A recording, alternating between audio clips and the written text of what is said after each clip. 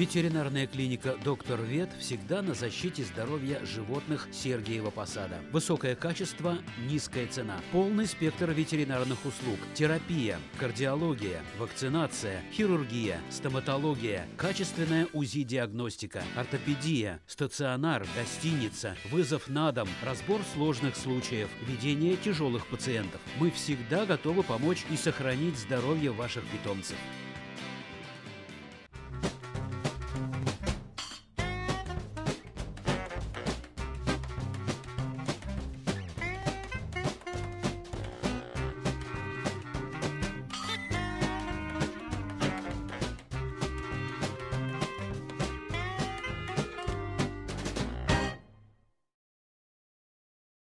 В этом доме очень любят собак породы такса.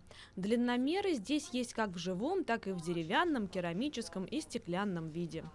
У меня таксы уже ну, больше 20 лет. Чем привлекает порода? Не знаю, люблю. Характером, прежде всего. Мне, мне прият... э, характер их приятен, да. Ну, Такой вот противный. Они своенравные, очень, очень своенравные. Такса, она что-то среднее между кошкой и собакой. Э, Прежде чем исполнить команду, она сначала подумает, делать ей это или нет, что ей за это будет, лучше или хуже. Последним в доме появился Кекс. Искал новый дом и нашел Ирину и Сергея. Хозяйка заболела, хозяин заболел, в общем, клиники и прочее. И мальчик, мальчик остался, можно сказать, беспризорный. Э, Кекс – это его кличка такая домашняя. а В паспорте он написан, что его зовут Кент Лавелас. Вот. Э, Кекс у нас появился ну, чуть больше полгода назад. Переживали, как нового постояльца примет хозяйка квартиры, 13-летняя Лиза. Думали, будет сложнее, но кекса она приняла очень даже хорошо. Э, Не скандалила. Как-то так нормально все так обошлось. Выезжали в деревню. У нас там соседи есть в деревне, две таксы там, две девочки таксы, э, дом напротив. Вот. И когда мы приезжали в деревню, ну, мы их познакомили, конечно, когда приезжали в деревню, он выскакивал из машины и прямиком туда бежал. Конечно, эта старая клюшка ему уже была не очень интересна, а там девочки молодые, и к девчонкам он туда к молодым бежал, в дом напротив. Заходил туда, э, в дом прям заходил, безо всякого. В общем, мальчишка совершенно без комплексов, грудь колесом, э, хвост саблей, все как положено. Но, видимо, так сложились звезды в момент рождения этой собаки, что ему предстояло пережить еще одно потрясение. Я э, заметила, когда поднимались по лестнице, мы на четвертом этаже, поднимались по лестнице, как-то он неохотно уже поднимался по лестнице. Вот. А пришли домой, лапки помыли, я стала кормить, и тут я заметила, что-то у него зад заносит из стороны в сторону, и лапы как-то, под, задние лапы подгибаются. Вот. Э, Позвонила доктору, а, мы накануне э, у доктора были и зубной камень ему снимали. Вот, и я позвонила доктору, спрашиваю, что такое, может, на нервной почве? Он говорит, да может быть, накапай валерьяночки. А, корвалольчику, говорит, ему накапай. Корвалольчику я чуть-чуть накапала, разбавила водичкой ему дала. Вот, ну, не знаю, может быть, нервы-то у него немножко успокоились, но на утро, на утро он уже не ходил совсем. Вот, поехали, э, поехали к врачу, посмотрел и поставили нам вот такой, можно сказать, безнадежный диагноз. Вот, э, защемление позвоночной грыжи. Болевой синдром сняли. Вот. Больше у нас ничего не получилось. Вот. И нам сказали, что интернет весь прошерстила. Ездили часто к врачу первое время. Он все его тестировал, тестировал, смотрел, э, рентген делали, в общем, все делали. Сказал, что ну, бывают чудеса, может быть, что маловероятно. А так предложил, предложил, в первую очередь, предложил, конечно, усыпить. Нафиг, говорит, вам это надо. Но им оказалось надо сделать хотя бы попытку вернуть собаку к полноценной жизни. Приобрели коляску для задних лап, чтобы пес передвигался. Вспоминают, что первое время в его глазах читался страх, что бросят, а потом понял, в этой семье своих не бросают. Приспособились справлять естественные потребности, не перестали гулять. Я смотрю, мальчишка-то совершенно остался таким, как он был до этого. Он, наверное, уже забыл, что у него лапы задние не очень хорошо бегают. Он, я говорю, иногда носится так, что э, я за ним еле успеваю. Ему все интересно, ему вообще весь окружающий мир очень интересен. Ирина и Сергей, несмотря на приговор врача, не оставили надежды на восстановление двигательной функции. Ежедневно делали массаж и гимнастику, и даже доктор удивился результату. Обычно говорит, вот недели две-три и уже висят нитки вместо ног. То есть таз, уже одни кости и висят ниточки. А мы когда при... приехали, он прям, ничего себе, у него ноги почти на месте. Хотя они у него бездействовали совершенно, а, болтались, вот так не реагировали. Он таскал и чисто корпус передний, а задний у него волокся. А потом вот когда вот так вот я начал ему по чуть-чуть делать эту гимнастику, он стал за едой иногда подскакивать. И сейчас вы видели вот в процессе, он достанется. Вот так вот иногда ставлю его просто, чтобы он как бы постоял немножко. Да, Киксош? Я ну, бывший инструктор по подводному спорту. Поэтому массаж для меня это уже знакомое, так сказать, дело. И, вот. А что касается вот того, что полностью атрофированная часть, это я знаю по жизни Декуля, слышали такой, э, был цирковой артист, я когда-то в цирковой студии занимался, поэтому о нем всегда говорили.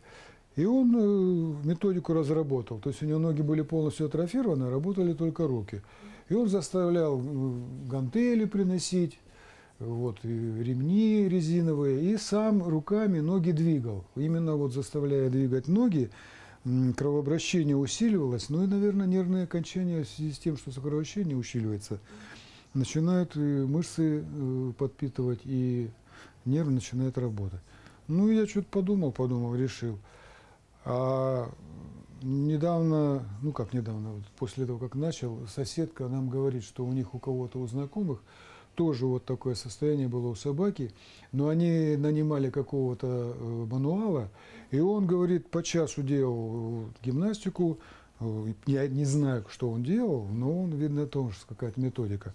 И, говорит, через полгода собака побежала свободно. Побежит ли кекс на своих лапах – вопрос открытый. Факт, что сейчас на своих двоих он передвигается так, что бежать приходится хозяйке. Сам с лестницей и по ступенькам вверх. Сугробы не преграда. И запах весны манит. На коляске по снегу тяжеловато, а летом колеса помогут передвигаться еще быстрее. Забота и внимание важно каждому, и даже безнадежные случаи порой превращаются в добрую сказку, которая не заканчивается.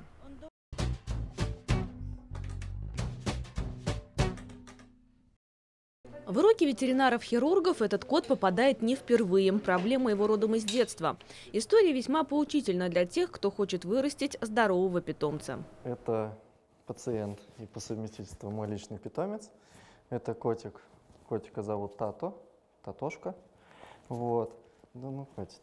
А, лет ему получается 8. Попал он ко мне месячным котенком. Тогда я еще, к сожалению, не был ветеринарным специалистом, был обычным владельцем, которому повезло такого маленького котеночка приютить. А, был он маленький такой, хиленький, худенький. Конечно же, я, как все владельцы, хотел для него счастья, откормить его. Вот. И тогда еще как раз я не владел должной информацией по поводу правильного кормления кошек. Вот, и кормил его натуральной пищей, причем натуральной, ну, не сбалансированной, как положено. Вот, кормил я его в основном курицей, да, подмешивал туда крупы, да, подмешивал а, овощи вареные, курица тоже была вареная.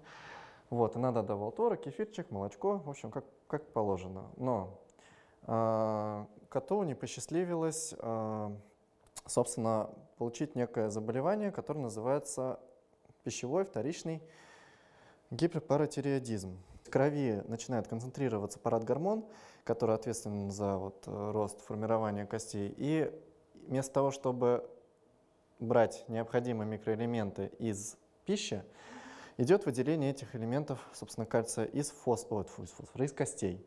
Вот. И от чего кости становятся, ну, как в простонародье, прозрачные. То есть на рентгене даже, если мы делаем рентген, они у него такие э, прям просветленные, прозрачненькие. Плотность кости э, очень низкая. И они становятся очень хрупкими. Для таких животных даже прыжок со стула чреват травмой. Если не переломом, то сильным ушибом. Э, вопрос не в поступлении а количества кальция, фосфора, а именно в их соотношении. То есть даже по всем нормам кормления еще с наших э, учебных заведений на крупнорогатый скот пишется, что учитывается не общее количество поступаемых этих элементов, а именно их соотношение. То есть их может быть в сумме много, может быть там чуть меньше нормы, но чтобы соотношение было всегда строгое было. Не сразу, конечно же, мы обратились в ветеринарную помощь.